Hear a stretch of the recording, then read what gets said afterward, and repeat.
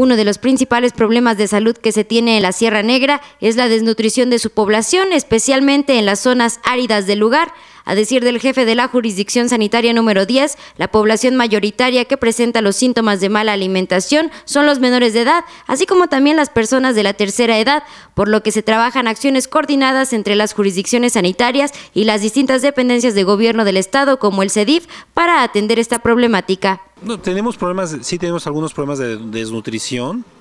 que ya se han atendido especialmente en coordinación del DIF por parte de los médicos se han estado dando los certificados médicos de todas las familias que en un momento no, no están teniendo la nutrición adecuada. Tenemos en algunos casos unos niños y algunos adultos mayores, pero tampoco es algo, es algo que se está teniendo de manera coordinada con, tanto con el DIF municipal, con el DIF estatal y por parte de la Secretaría. Para Telefórmula Puebla informó Tania Flores.